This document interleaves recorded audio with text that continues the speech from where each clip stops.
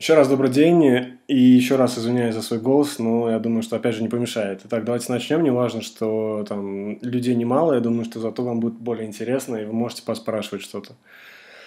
А, так, на записи я все поставил. Значит, меня зовут Алексей Ница, и вот сегодня мы поговорим о, вместе с вами об эффективных email-рассылках и формах подписки, и посмотрим такие сервисы, как MailChimp, Unisender. Возможно, если останется время, то еще и e-почта. Одна девушка в комментарии написала об этом. Так, если меня нормально слышно, то опять же еще напишите, чтобы я точно был уверен в том, что меня слышат. Так, Мария Ирина пишет, значит слышит, отлично. Так, ладно, тогда продолжаем. И, значит, я хотел бы сказать спасибо большое нашему партнеру. Это фонд Focus Media, который предоставляет нам площадку эту, где мы с вами, собственно, встречаемся и общаемся на разные темы в виде вебинаров. Поэтому еще раз Большое спасибо им. Пару слов о себе. Итак, меня зовут Алексей Ница. В Теплице я являюсь ивент-редактором и в том числе делал еще видеоуроки. Это небольшие такие видео, а, с помощью которых вы можете узнать, как пользоваться тем или иным сервисом. А, в основном мы говорим про онлайн-сервисы, и вот есть ссылка – Можете туда перейти сейчас, там на данный момент 39 видеоуроков, и вскоре будет пополнение, поэтому смотрите, и я думаю, что вам будет полезно. Опять же, это небольшие видео, всего где-то в пределах 8 минут, за которые вы можете узнать что-то новое и интересное для того, чтобы сделать вашу работу более эффективной. Так, переходим дальше. А Елена пока что-то пишет. Елена пишет, что слышно. Окей. И хочу сказать о том, что если вы или ваши друзья пропустили вебинар по какой-то причине, но хотели бы его посмотреть, вы это сможете сделать в записи. Мы это делаем.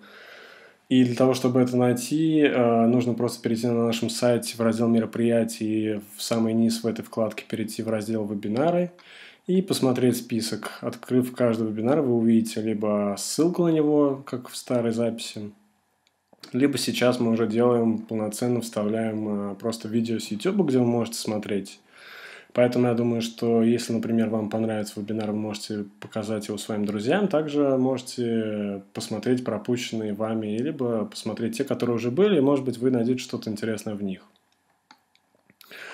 А быстрее переходим дальше и в двух словах о чем вебинар. Собственно, во-первых, я не хочу задерживать никого, и себя в том числе, и я думаю, что мы уложимся в час. И поговорим сегодня о том, что такое форма подписки на вашем сайте, и э, что такое e-mail рассылка вообще, и для чего она нужна. На самом деле, мне кажется, все об этом знают, но, может быть, какие-то нюансы вы узнаете, и я от вас узнаю. Прошу прощения. И поговорим сегодня о таких сервисах, как я уже говорил, это MailChimp, Unisender и почта если опять же останется время. Ну и, конечно же, я расскажу, собственно, для чего это вы используете, как, и я отвечу на ваши вопросы, если они есть. Вы можете их писать в течение, либо в конце, где я с радостью отвечу. Сейчас будет часть вебинара, когда я буду рассказывать именно вот так по слайдам, и вторая часть будет она такая интерактивная, когда вы сможете наблюдать за тем, что я делаю на экране своего компьютера, а вы будете это смотреть. Собственно, я буду переключаться обратно, опять же, сюда, чтобы посмотреть ваши вопросы, но когда я буду показывать и говорить, я буду видеть только свой экран. Поэтому мне придется все-таки переключаться туда и, э, из окна в окно, чтобы быть э, в курсе того, что вы пишете. Так, с этим пока понятно, вопросов нет, это хорошо. А, значит, Начнем вот с чего. Значит, что такое форма подписки? Наверное, все мы с вами понимаем, что а, здорово было бы общаться со своей целевой аудиторией, да, если у вас есть сайт, если вы организация, если вы, там, не знаю, человек, который делает что-то полезное. И самый первый, а, самый первый вариант, который может быть только, это, собственно, разместить на вашем сайте форму подписки, с помощью которой люди будут подписываться на вас и э, таким образом будете пополнять базу базу людей, ваших приверженцев, которые будут читать ваши новости, возможно, какие-то еженедельные рассылки, опять же, это от вас зависит. И то есть будут следить за вами. Все это действует почему? Потому что до сих пор еще, как ни странно, когда есть социальные сети, другие каналы связи, электронная почта, email, да, он остается все еще такой действенной э, возможностью достучаться до вашей целевой аудитории. Если мы говорим про некоммерческие организации или какие-то гражданские инициативы, то здесь, скорее всего, Это один из э, двух, наверное, каналов связи, второй – это телефон. Да, когда для людей достучаться можно именно таким образом в интернете. Поэтому до сих пор это все еще действует, как ни странно, вот, и это все еще удобно. То есть, перво-наперво это форма подписки. А, собственно, что такое форма подписки? Да? Основная цель формы подписки – это создание вашей целевой аудитории, как я уже сказал. Если вы создали свой сайт или запускаете какой-то проект э, для того, чтобы понять, кто эти люди, вы можете, собственно, создать такую форму и разместить на своем сайте. Несколько слов о том, какой должна быть форма подписки. А, в первую очередь она должна бросаться в глаза, то есть человек, смотря на страницу, он должен понимать, э, что она, собственно, есть. И вот здесь, на нашем сайте, например, да, с правой стороны среди новостей у нас есть такая зона, где есть э, наша рассылка. Красным это я выделил, это не у нас на сайте выделено, поэтому не думайте. Вот. Поэтому, собственно, кнопочка подписаться зеленым, она и так выделяет э, эту зону, и человек обращает внимание, он видит, что если вы хотите получать свежие новости гражданских приложений в вашем почтовом ящике, то следует оставить свой email, да, и, собственно, подписаться на рассылку, и после чего человек будет получать наши новости и обновления с нашего сайта. Итак, она должна бросаться в глаза, то есть должна быть какой-то яркой. Стандартно, как говорят, форма располагает в правом верхнем углу сайта. На самом деле сейчас это не очень э, сильно актуально, все зависит от дизайна вашего сайта, но тем не менее до сих пор еще есть определенные привычки у людей, куда они смотрят, да, например, как контакты, например, телефон и так далее, все почему-то смотрят в правый верхний угол до сих пор. Поэтому, если вы делаете форму можете протестировать и попробовать разместить ее там. Если говорить, я, наверное, покажу это чуть позже, о, о теплице, там самая первая на главной странице, если вы хотите найти форму подписки, она прям буквально в первой строке, в горизонтальной, и там написано «подписаться на новости». Я это тоже сейчас покажу. А какие еще варианты могут быть? А, форму подписки можно закрепить в окне и оставлять ее в поле зрения во время прокрутки сайта. Это когда вы листаете сайт, например, а у вас снизу есть строка, где написано «подпишитесь», да, и независимо от того, пролистываете вы или не пролистываете, она остается видна. А не все люди это, к этому положительно относятся, потому что иногда это раздражает и как-то хочется от этого избавиться, но обычно человек раздражается от того, что он не может изменить, поэтому не всем это нравится, имейте в виду. Что еще? Еще можно делать всплывающее окно при первом посещении сайта. Опять же, это не всегда работает правильно. Это все зависит от того, какая направленность деятельности вашей организации. Поэтому э, вы можете попробовать это сделать, но не факт, что это будет всегда работать. Зато, возможно, вам это принесет определенное количество подписчиков. То есть уже такое практически принудительная подписка, э, с которой вы, собственно, ничего сделать не сможете. Поэтому э, нужно обязательно все тестировать. И когда вы делаете форму подписки, собственно, человек оставляет mail, и что в ответ? В ответ он должен получить э, подтверждение о том, что он на что-то подписался. Вот, например, как вы, когда подписывались на вебинар, наверное, да, то есть вы видели, что после того, как вы заполнили, заполнили форму на нашем сайте, вам, там, во-первых, пришло уведомление по email, а во-вторых, было написано, что вы подписались на участие в вебинаре. Поэтому в идеальном э, случае э, подтверждение должно быть э, следующим. Оно должно содержать такие вот вещи. Например, в первую очередь обязательно это должна быть благодарность. То есть должны поблагодарить человека за то, что он подписался. Потому что, в принципе, он потратил свои там, силы, время какое-то, да, Поэтому благодарность, она обязательно. Дальше вы должны обязательно указать, что и предупредить человека о том, что, например, подписки да, с вашего сайта будут приходить с определенного имейла, чтобы тот имел в виду. И, например, если по каким-то причинам этот э, mail ваш попадает в спам, этот человек должен проверить спам да, и внести, например, э, список контактов ваш э, email, с которого вы распро- распространяете информацию. Это не так сложно, об этом только нужно предупредить, потому что люди не все об этом знают.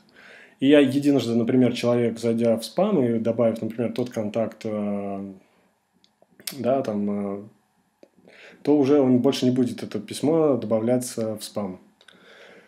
То есть, ну, обязательно нужно говорить именно с какого имейла. Дальше обязательно нужно указать, что если есть какие-то вопросы, например, да, там пусть э, или не пришло письмо, да, обязательно в подтверждении нужно указывать email, потому что если человек, например, подписался, он ждет письмо, и оно не пришло, он каким-то образом должен с вами коммуницировать. Поэтому, если вы оставите письмо прямо сразу в подтверждении, это будет уже большой плюс. Да, презентация будет доступна для скачивания буквально чуть позже, так что я думаю, что вы сможете с легкостью ее скачать, да. А еще несколько слайдов вот о чем. А, теперь мы поговорим об информационной рассылке, да. То есть, на самом деле, а, существует как бы две стороны одной медали. Первая – это, собственно, набор а, массы, то есть набор людей, которые подписываются на вас, да, и второе – это, собственно, рассылка информации по этим людям. То есть основная цель информационной рассылки – это написать письмо, на которое отреагирует нужным образом максимальное количество подписчиков. Почему тут сказано нужным образом? Потому что для каждой организации, собственно, цель как бы может быть разной, да? Но говоря о всех организациях или о всех э, компаниях, которые делаются, да, то есть цель единая, чтобы человек, во-первых, открыл ваше письмо, чтобы он прочитал и понял, о чем оно, и чтобы он потом просто перешел по ссылке или сделал что-то, о чем вы написали или попросили его в письме, да, какой-то призыв к действию. В основном это какие-то ссылки, да, то есть чтобы человек перешел по ссылке. Если мы говорим о деятельности некоммерческой организации, да, то в частности информационные рассылки несут две задачи. Первое – это поиск пожертвований, и второе – это обязательно налаживание коммуникации, да, то есть это отношения с лояльной аудиторией, которая не просто ваша аудитория, которая изредка что-то читает, а именно лояльна, и она активно участвует в жизни вашей организации. Это очень важно. Переходим дальше, и вопрос тогда прям вскользь о том, а каким образом можно оптимизировать то, что вы делаете – а как э, я уже ранее говорил касательно, например, вашего сайта или еще каких-то других э, вещей, которые вы делаете в интернете, обязательно необходимо анализировать. То есть, если вы проводите какие-то рассылки, да, обязательно анализируйте результаты. Опять же, сколько людей открыли, да, там ваши, например, э, рассылки, сколько людей перешло по вашим ссылкам и так далее. Далее я буду говорить об этих ресурсах, там MailChimp, Unisender и так далее, которые позволяют, собственно, анализировать э, вашу деятельность с рассылками. И это обязательно нужно делать. Дальше необходимо ввести график рассылок и оптимизировать их для того, чтобы понимать, в какое время лучше рассылать, да, в какое время, например, ваша целевая аудитория лучше открывает э, ваши письма, и чтобы было более эффективным, э, собственно, сама рассылка. Потому что, например, если ваша целевая аудитория работает, например, да, а вы как бы не связаны с прямой деятельностью человека, ну, например, вы рассылаете про пожертвования или так далее – прошу прощения, то, например, часто бывает так, что если вы делаете рассылки, например, днем, там, э, то человек обычно бывает на работе, и он просто не читает почту. Если, например, э, это не рабочая почта, да, э, то есть нужно делать либо поздно вечером, либо утром, либо как-то еще. Опять же, это нужно тестировать. Таким образом, вы можете просто найти то оптимальное время, когда ваши рассылки открываются намного лучше. Всем так известно сейчас на слуху об тестировании, что это такое. Это на самом деле просто механизм э, пробы разных вариантов ваших рассылок. Представьте себе, что, например, вы делаете информационную рассылку о каком-то вашем мероприятии или событии, да, по базе вашей. И в одном, например, там письмо вы пишете по смыслу что-то одно, да, и во втором письме вы пишете тот же самый смысл, но другими словами и вы смотрите, на какое, например, э, сообщение лучше откликаются ваши люди. Поэтому э, делая таким способом, да, и деля, например, вашу аудиторию, то есть э, ваших подписчиков на какие-то группы, например, да, вы можете на каждой группе протестировать и посмотреть, да, каким образом наиболее хорошо подходит для конкретной группы, например, там то или иное письмо. Потому что это может варьироваться, например, и от возрастной группы, например, да, и от э, того, где люди живут и так далее. Очень много факторов, э, на которые надо обращать внимание. То есть АБ-тестирование – это именно пробуйте различные варианты при поднесении информации в вашей рассылке, в, вашей, в ваших письмах. А, очень важно хочу сказать вот о чем, что когда вы делаете вашу рассылку, обязательно должна быть кнопка «Отписаться». Это во-первых. И во-вторых, вы должны по возможности попробовать сделать опрос после кнопки «Отписаться». То есть, например, вы должны понимать, почему человек отписывается от вас. Возможно, ему что-то не понравилось, либо, возможно, он просто что-то не понял, да? И дабы не делать такие же ошибки в будущем, вы можете просто проанализировать это с помощью опросов и таким образом посмотреть, возможно, меньше людей станет отписываться, либо вы решите конкретную задачу. Почему нет? Естественно, что не каждый человек будет указывать причины, тем не менее, такую возможность людям надо давать обязательно. То есть, опять же, кнопка «Отписаться» должна быть всегда. Это очень важно. И последняя какая такая вот ну, как бы рекомендация, да, для тех, кто делает рассылки, перед тем, как вы ее отсылаете, попробуйте, собственно, прочитать э, ее от лица того, кому вы ее рассылаете, то есть, да, от лица получателя. Представьте себе, что вы обычный человек, вы там ваш читатель, да, и просто прочитайте то, что вы пишете, да, вообще вам будет это интересно или не будет, откроете вы или не откроете, перейдете по ссылке или не, не перейдете. Также без каких-то проблем вы можете спокойно это протестировать на своих друзьях или знакомых, да, которые не очень сильно знают, чем конкретно вы занимаетесь. А, поэтому просто действительно нужно пробовать различные варианты. Таким образом, вы будете, во-первых, а, гибки в том, что вы делаете, да, и будете быстро воспринимать какие-то изменения. Таким образом, просто будете повышать а, эффективность вашей рассылки. Потому что, если, например, у вас там 10 тысяч подписчиков, но письмо ваше открывает там 100 человек, да, это совсем ничего, да. А если, например, у вас а, база 200 человек, но открывает 100 человек, это уже что-то. То есть 50% открытия это уже что-то, потому что ну, там, понятно, что 100% тоже не бывает. Что еще хочу сказать? А, как еще можно повысить эффективность? А, понятное дело, когда мы говорили про формы подписки, которые мы сейчас будем смотреть, собственно, в ресурсах, а, когда человек подписывается, да, он должен точно понимать, что он подписывается для того, чтобы получать какую-то ценную информацию. Поэтому если вы или вы преподносите какую-то действительно важную информацию людей, покажите это, напишите, что именно человек получит, там, какие советы. Может быть, вы там за подписку будете давать какие-то бесплатные электронные книги или еще что-то, какие-то бонусы. То есть сверх того, что человек ожидает. Обычно и намного эффективнее это действует, потому что человек это воспринимает как, ну, как подарок или приз. И тогда ему будет приятно просто, действительно. Также распространяйте информацию о том, что вы делаете. Например, если вы делаете конкретную рассылку, например, касательно какого-то мероприятия или вашей какой-то компании, то почему бы и нет, просто вставляйте эту ссылку в подпись вашего мейла, да, и когда вы пишете кому-то, все будут видеть эту ссылку, и, возможно, перейдет кто-то, и вы уже получите какие-то дополнительные, получите дополнительных людей, которые также будут читать ваши рассылки. Пункт третий, может быть, э, странно звучит, но действительно надо создавать форму подписки, да. То есть, э, как бы не надо останавливаться на том, что уже есть, да. Обязательно расширяйте вашу аудиторию, обязательно тем самым давай возможность новым людям просто подписаться и посмотреть, что есть. Поэтому, если вы думаете, что вы создали какой-то, например, там, вашу аудиторию или там э, список рассылки, то его не надо пополнять. Это на самом деле ошибочное мнение. Пополнять нужно всегда и постоянно, потому что люди меняются, люди читают, потом отписываются и так далее. То есть э, все просто, но нужно создавать форму. И четвертое, обязательно, как я уже говорил, надо переводить э, всех подписчиков, старается переводить в лояльную аудиторию. То есть, когда она не просто читает вас, но и как-то коммуницирует с вами.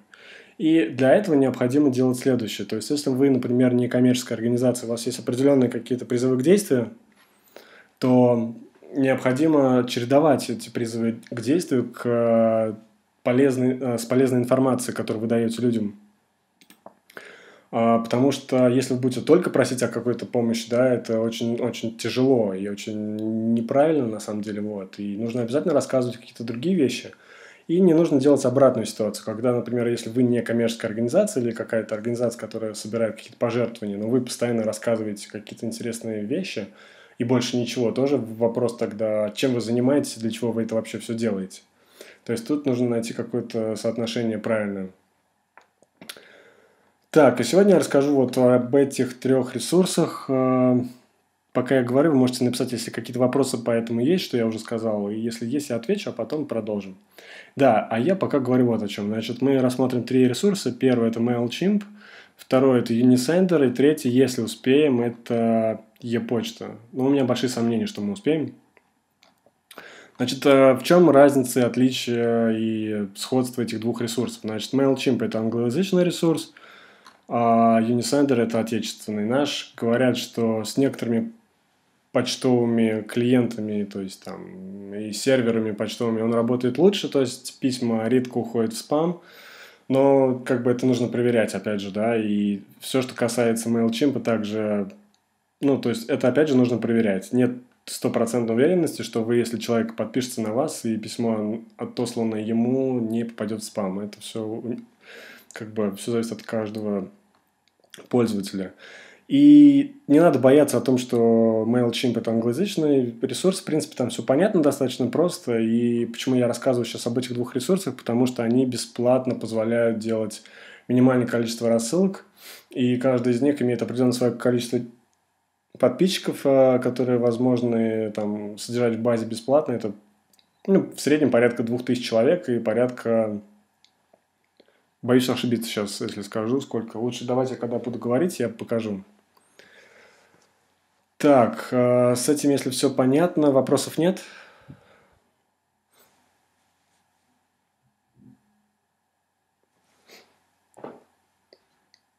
Так, вопросов, видимо, нет. Хорошо.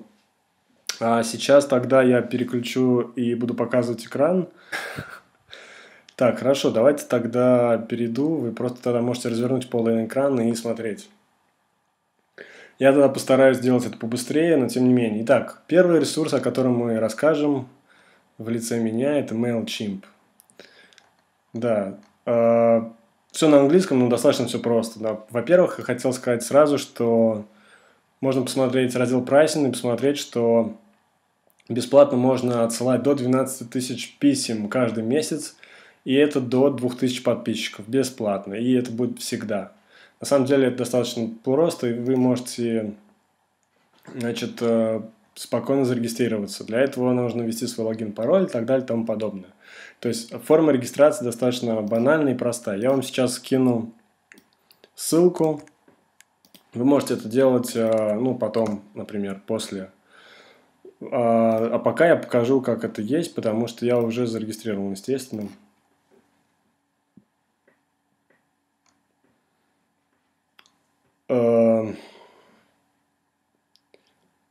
Так, Казахстан. да, конечно, правильно, да. А, пусть будет Казахстан.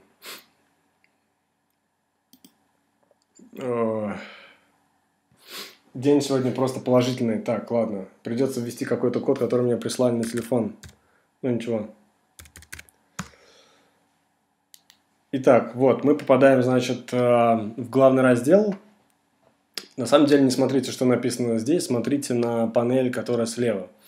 Значит, э, есть компании, есть э, templates, это так называемые дизайны, то есть или шаблоны.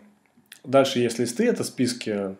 Есть э, reports, это отчеты. То есть отчеты ваших рассылок. Как раз о том, о чем я говорил, где можно посмотреть, кто сколько открыл и так далее и тому подобное.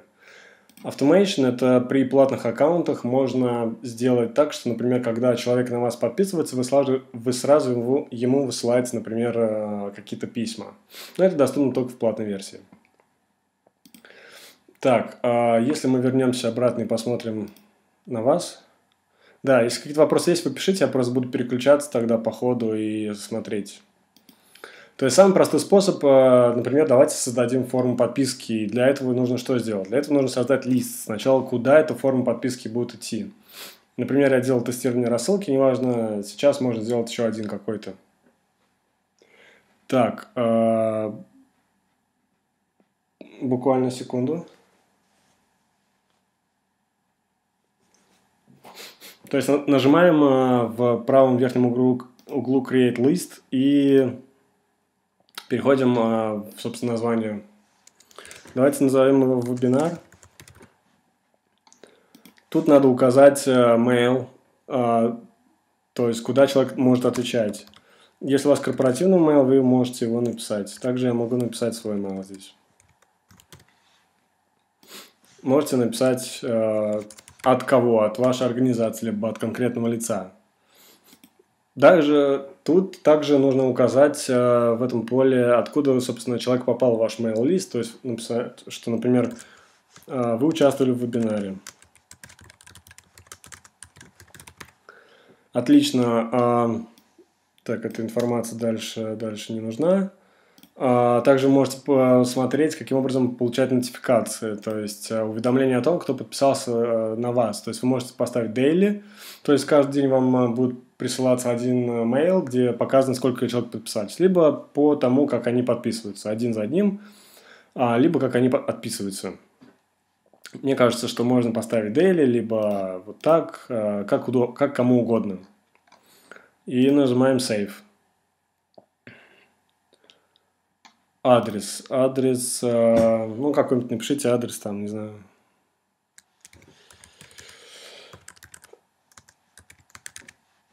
Понятно.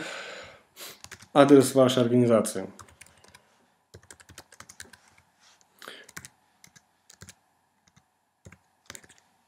Так.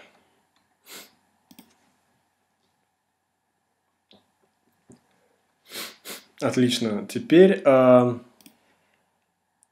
как вы видите, создал, создался еще один лист. В этот лист будут записываться люди из формы подписки, которую мы сейчас создадим.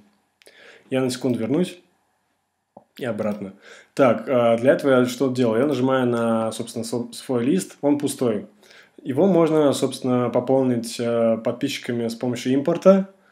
Если мы нажмем вот сюда, то, как вы видите, очень много возможностей импорта с разных систем. Также можем загрузить файл CSV или TXT файл, либо подгрузить Google Drive, и тоже очень удобно. Также можно 7Bright брать или других Google контактов, например. А если у вас нет импорта, можете сделать это вручную, либо большой плюс это Sign Up Forms. Это форма подписки, о чем я и говорил, которые можно создать и разместить на вашем сайте. Для этого, первое, нужно сгенерировать сначала форму. Значит, э, нажимаем на первое, и, как мы видим, у нас есть э, какой-то темплейт, условно говоря, где э, есть определенные формы, да, то есть, во-первых, вы можете изменить надписи, можете изменить сами формы, с правой стороны вы можете поля добавлять прям перетаскиванием. Да. Вот я нажал, например, видите, и э, здесь можно писать что-то там и заполнять форму и настроить все таким образом, как вам нужно. А, для того, чтобы удалить, система делает таким образом. Вам нужно ввести слово delete, э, чтобы точно было удалено, потому что чтобы не было случайных удалений. Удалить – это значит нажать на минус. Тут все по-английски, но большой плюс вот в чем. Если вы увидите, то тут есть translated. Это значит, что вы можете выбрать язык, на который хотите перевести. Например, русский. Вы находите русский язык, и видите, что вот таким образом переводится, да, если что-то неправильно переводится, вы можете изменить перевод просто и писать так, как это должно быть. И нажать Save Translation. А, теперь, а, так как а, форма есть, то ну, просто можно назвать, например, форму подписки. Как вы видите, здесь можно вставлять изображения, картинки и так далее, делать все, что угодно. На самом деле она очень гибкая по возможности. Также, если вы два раза будете нажимать, то здесь увидите окошко, где вы тут прям можете поменять текст. То есть я могу просто написать вот так. Галочка mail required, это значит, что человек должен обязательно отметить это поле для того, чтобы завершить э, подписку. После того, как я изменил, называю save. Save, save.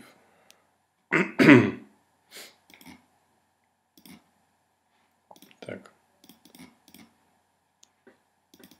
Почему-то не, не нажимается. Ну, в любом случае, понятно, да, что если вы хотите изменить надпись и потом нажимаете Save Field, по какой-то причине сейчас это не работает, по причине, наверное, интернета. Итак, вот у нас есть уже форма подписки, да.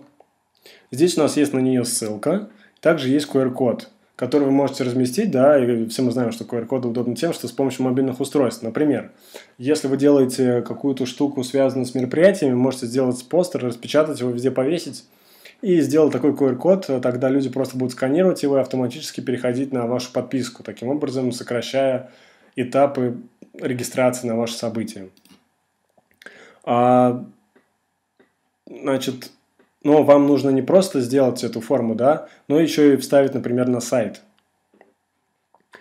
Как мы видим, например, вот наша форма. Я просто, видите, не изменил здесь некоторые штуки, но это не важно. Главное показать, как это работает. Существует очень много настроек, э, там, включать поля, которые отмечены звездочками только, или включать все поля, вот здесь можно выбрать, например, да. Но главное, что здесь генерируется код. Если вот этот код я скопирую, и специально я вот здесь вот э, открыл на сайте и хочу показать, как это работает.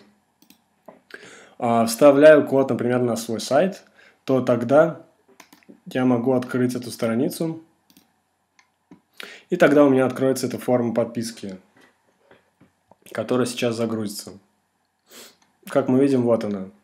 А, видите, она широкая, потому что я не указал ширину, например, да? Мы можем указать ширину здесь. Например, 400. Если я укажу таким образом, то, например, надо тогда код заново лучше вставить и обновить. При этом изменится ширина. То есть не во весь экран будет, а вот так. И Тут можно настроить некоторые поля, которые плохо отображаются, но тем не менее это работает. То есть таким образом вы можете вставить эту форму подписки на свой сайт и собирать всех людей, которые есть в этот список. Так, с этим понятно. А, окей, то есть таким образом у нас есть уже списки, да? У нас есть список, а, и, например, для того, чтобы протестировать это, давайте мы просто возьмем, и я скопирую вам вот эту вот а, форму, а вы сейчас, например, кто смотрит нас, можете просто добавить туда себя, зарегистрироваться. Мы посмотрим, как это работает. Форму все видят? Надеюсь, что да. А, теперь, переходя, например, в раздел вебинар, я вижу список. Но вижу, что пока подписчиков нет. Значит, давайте поговорим теперь о компаниях. Компания – это сами письма информационные, которые вы высылаете, например. Да? Если я создаю компанию, это значит, что, во-первых, я создаю, например, какой-то регулярный HTML письмо, где будет включаться не только текст, но еще и картинки. Например, выбираю это. И, например, выбираю, что это будет э, вебинар. И можно выслать всему листу, либо каким-то сегментом так как я там сегменты не делал, вот как раз про то, что Мария спрашивала, то можно высылать всему листу. Например, сегментировать можно, допустим, по городам, да, по тем городам, откуда у вас люди. Это, опять же, очень удобно.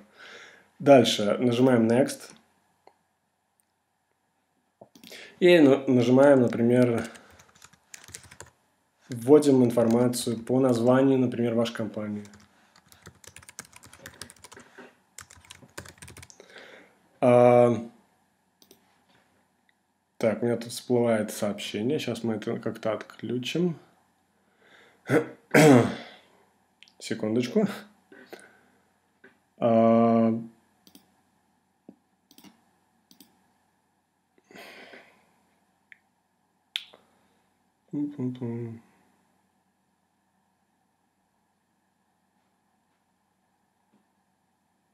Ну ладно, просто не обращать внимания, не важно. То есть, э, продолжаем.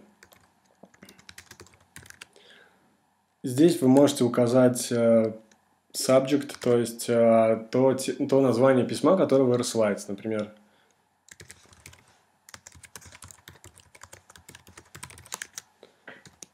Здесь вы можете указать, от кого это и откуда email обратный, да. Можно нажать Next. А, либо пропустить э, верификацию домена. Но это можно сделать, э, потому что если вы точно уверены, что ваш домен, например, отправляет э, достаточно хорошо письма через тот домен, ну, через тот mail, который указан у вас как основной. И тут же вы можете выбрать, например, темы. Есть вот такие, есть с изображениями, достаточно много настроек на самом деле. И, допустим, выберем такой. После чего нам нужно просто сформировать то письмо, которое мы хотим сделать. Это сделать достаточно просто, потому что, во-первых, здесь есть блоки, мы можем это перетаскивать, удалять, картинки вставлять. На самом деле все просто. Мы можем вставлять социальные кнопки, а, код свой какой-то конкретный и так далее. Например, код а, кнопки пожертвования. Это очень удобно, действительно. Тогда человек может сразу это сделать в письме иногда, либо просто перейти по ссылке и таким образом сделать вам пожертвование. Мы можем просто удалить какие-то лишние блоки, которые нам не нужны, и оставить э, то, что есть. Ну, я не знаю, давайте там уберем вот это все просто. Оставим картинку. Большую и какую-то надпись. Так, здесь мы можем э, нажать на это, на редактирование, тогда мы увидим, что мы можем изменить надписи.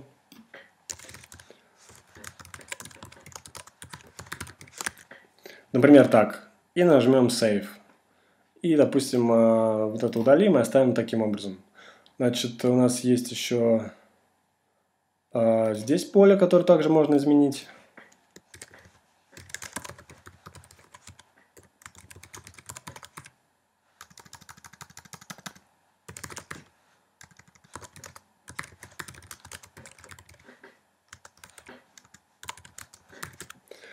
Допустим, так.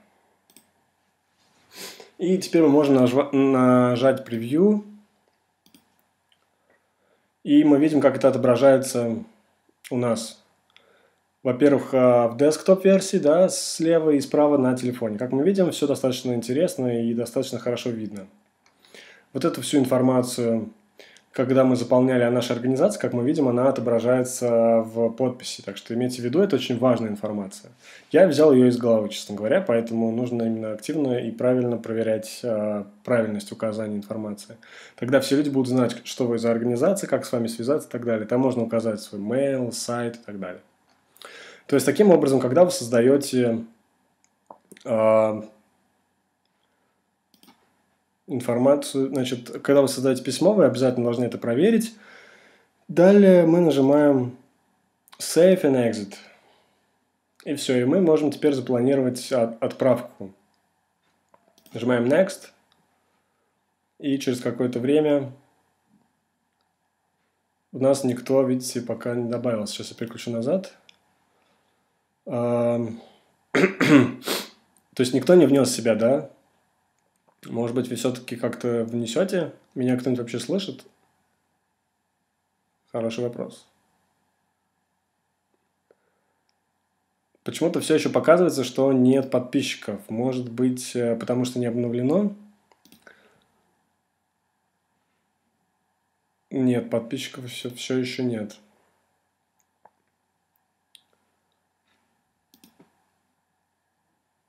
И тогда мы...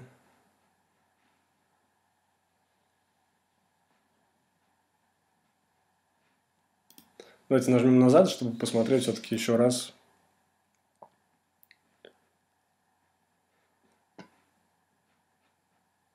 Перейдем в основное меню, потому что так что-то я запутался, честно говоря. Так, входим мы вот в это. Так, и мне кажется, что я не сохранил.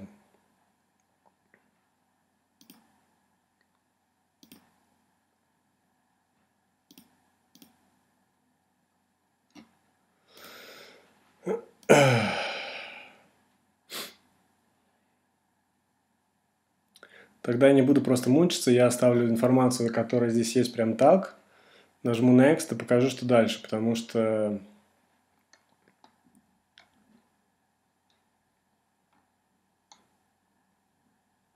Во-первых, это нельзя сделать, видите, тут есть кнопочка Resolve, нужно обязательно убедиться в том, что вот эти вот красные пункты, которые есть, их нужно проверить, чтобы они были правильными. В общем, э, таким образом, когда вы все проверите, вы можете нажать кнопочку Send и сделать это прямо сейчас, либо сделать запланированные публикации, таким образом отправив ваше первое сообщение.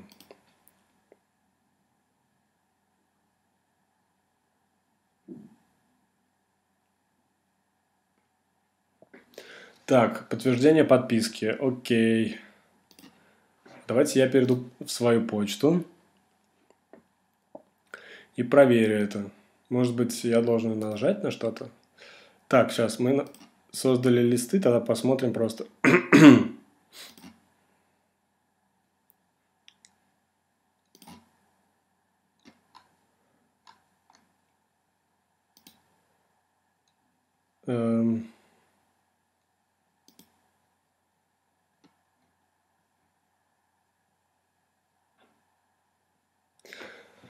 А, я понял, в чем дело. Я понял, в чем дело.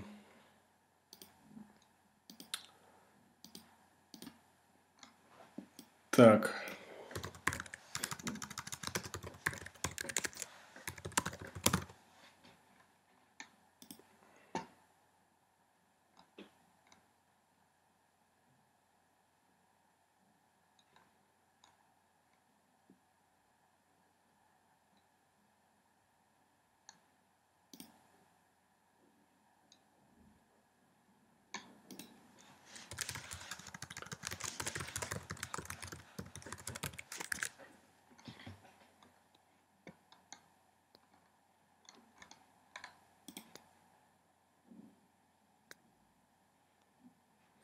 Давайте попробуем еще раз это сделать.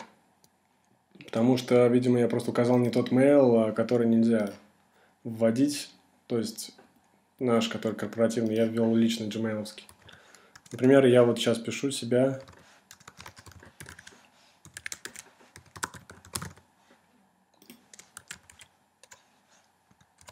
и посмотрим, что будет.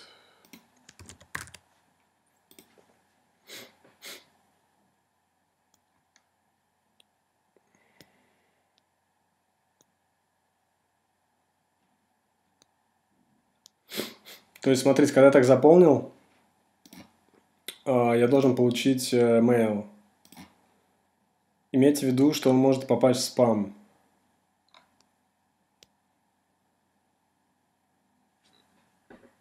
В спам.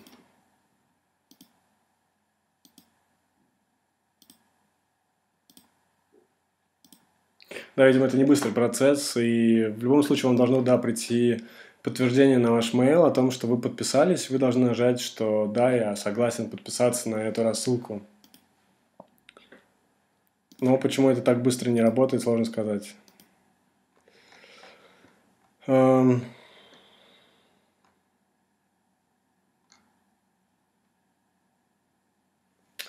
Да. Конечно, сожалею, что так получается, но вот я не могу вам это показать быстро. Да, просто, возможно, это нужно какое-то время, к сожалению, видите, нужно подождать, и тут ничего не сделаешь. Возможно, она просто придет там в течение пяти минут, может быть, нет. То есть, в любом случае, когда вы делаете таким образом, то каждый человек получает уведомление, и он должен нажать согласен или не согласен получать рассылку, тогда а, либо он может отписаться, потому что многие делают это как бы специально, берут чужие имейлы, как-то копируют из базы и подписывают на свои рассылки. Таким образом, этот сервис избегает возможности подписки вас на чужие рассылки. Это тоже в этом плюс. В каком-то смысле это минус, но и плюс тоже. То есть, таким образом, когда вы формируете форму подписки и размещаете на своем сайте, то люди будут падать вам в лист, и после чего вы сможете отсылать уже а, просто по вашему листу все те письма, которые необходимы. А, давайте тогда просто перейдем в лист и попробуем вручную вести. Нет, это не то письмо.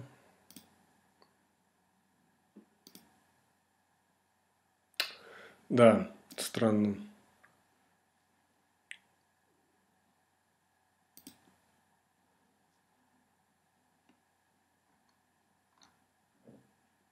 То есть, если я нажимаю Add Subscriber, то я здесь могу прям вот сразу ввести просто человека.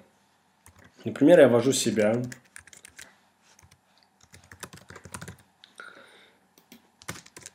Просто давайте я покажу на примере себя, чтобы действительно вас не мучить и себя в том числе.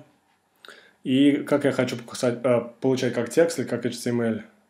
И дал ли мне человек разрешение на то, что я добавляю его в этот лист. Я говорю, что да, дал. После чего я делаю вот что. Я захожу в компанию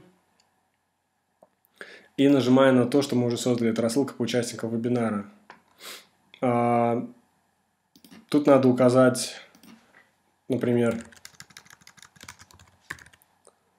свой mail, потому что я тогда указывал неправильно.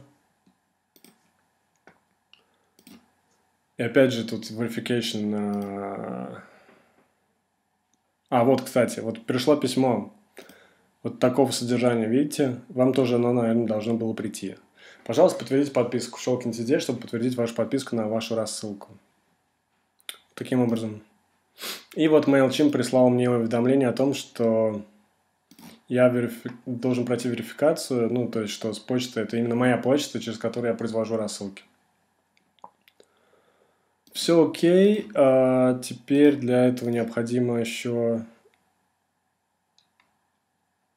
нажать Resolve. Ну или обновить, наверное, просто.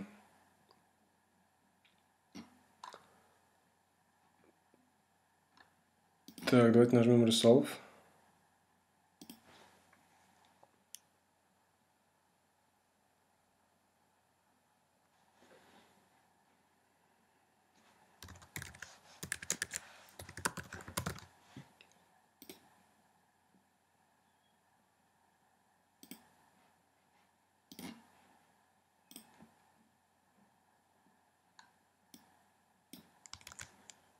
Давайте попробуем сделать это вручную, ввести код. Отлично.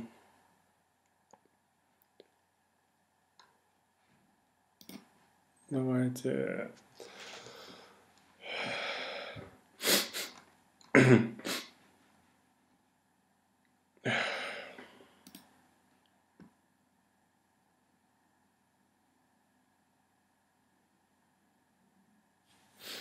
Да, давайте, ладно, вернемся тогда, в общем, э, к, к демонстрации просто слайдов, потому что, ну, к сожалению, технические неполадки и действительно очень много потрачено впустую.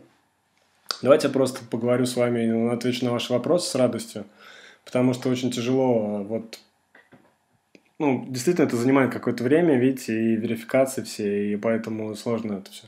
Значит, э, да, пожалуйста, конечно, можете покинуть. Хорошо. То есть, если у кого-то еще есть вопросы, я с радостью отвечу, а так, э, ну, спасибо, что послушали.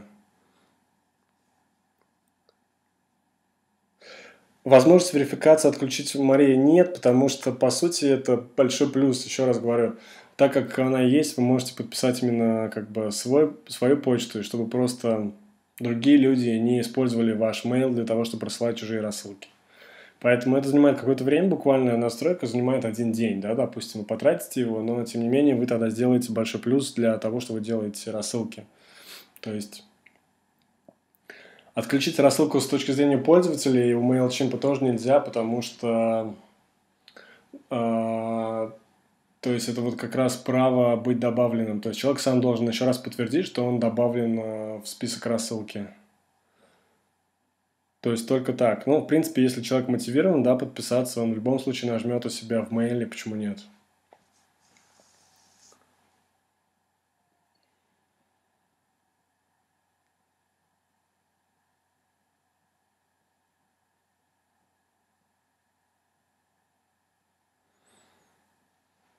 Я показывал это сейчас. Э, когда вы, в общем, вручную делаете Сейчас я скажу, как это делается.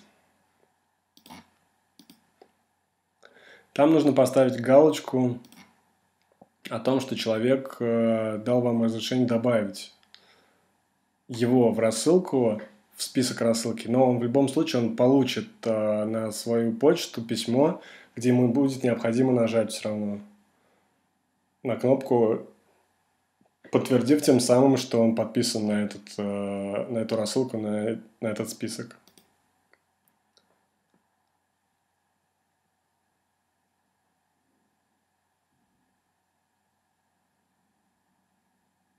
Ну, то есть вы имеете в виду, э, вы это точно знаете, что они получают, потому что мне кажется, что должно пройти время, а человек получает или нет.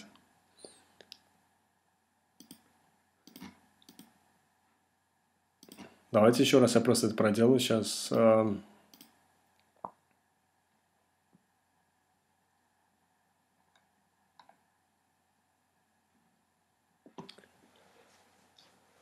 Да, я понял, о чем вы говорите. Значит, получается следующим образом. Да, когда мы используем форму подписки, тогда человек нужно э, получать mail на свою почту и переходить, то есть нажать на кнопку, что да, действительно хочу подписаться.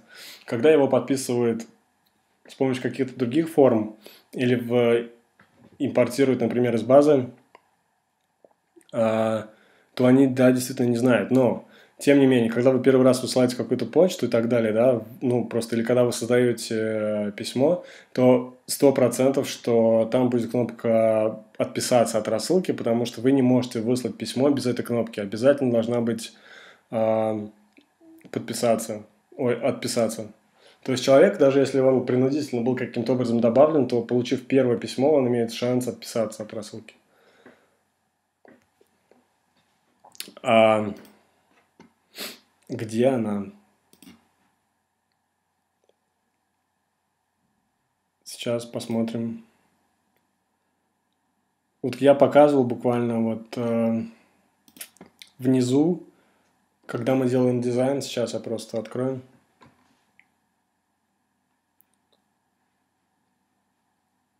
Давайте я попробую еще раз показать экран. А ее не надо настраивать, это автоматически происходит. Вы просто можете изменить текст. вы не можете ее убрать даже. То есть э, форма отписки, она вот такая. Так, если вы сейчас попробуете, вы должны видеть то, что я показываю. То есть вот форма черная, которую я делал. И внизу, вот видите, unsub, un, unsubscribe from this list. И вот эту кнопку вы не можете изменить. То есть вы не можете ее удалить. Она все равно у вас всегда будет, даже если в тексте.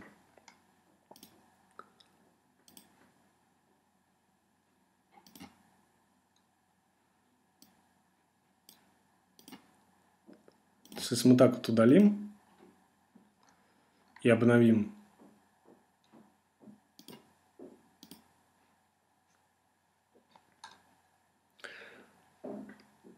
то все равно, видите, unsubscribe from this list.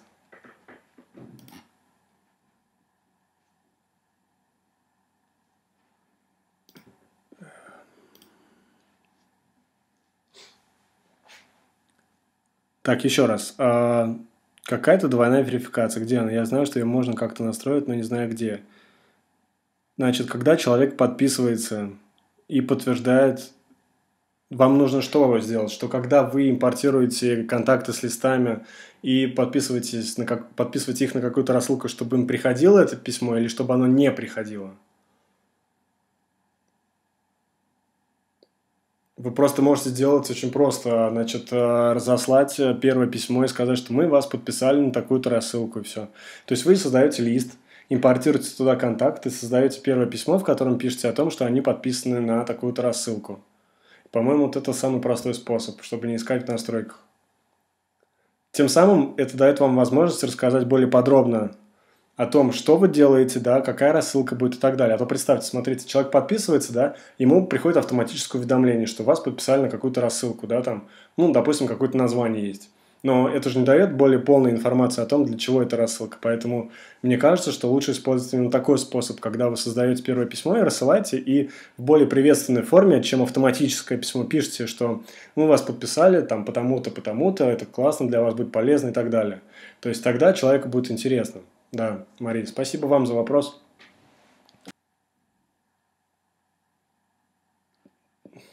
Тогда спасибо всем за участие, и я уже тогда на этом прощаюсь. Всем спасибо.